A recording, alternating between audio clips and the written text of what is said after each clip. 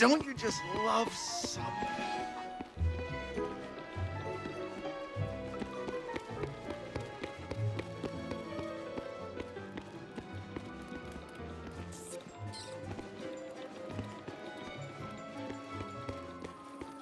I give this village five stars.